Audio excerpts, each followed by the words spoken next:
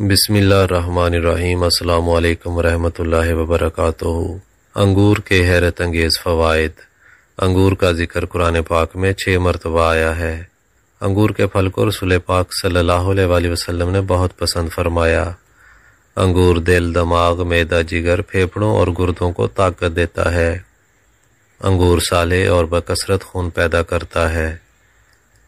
अंगूर का इस्तेमाल खून को साफ़ करता है। अंगूर का सिरका बेशुमार अमराज के लिए अक्सर का दर्जा रखता है। अंगूर का इस्तेमाल हर किस्म के कैंसर से तहफ़ फराहम करता है।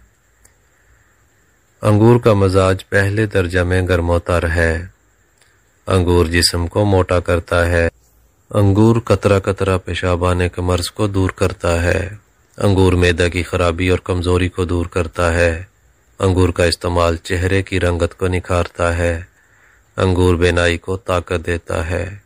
अंगूर पके हुए खाने से कब्ज दूर हो जाती है। अंगूर कच्चे इसहाल के मर्ज को रोकते हैं। अंगूर का इस्तेमाल जिसम को मज़बूत और ताकतवर बनाता है। अंगूर का नाश्ता करने से गैस के मर्ज से नजात हासिल होती है।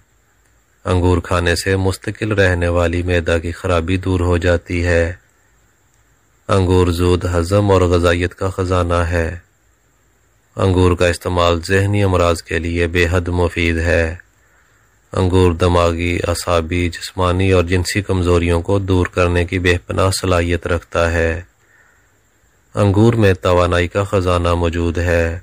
मज़ीद अच्छी वीडियोज़ के लिए हमारा चैनल सब्सक्राइब कर लें और बेल आइकन लाजमी प्रेस कर लें। बहुत शुक्रिया। अल्लाह हाफिज़।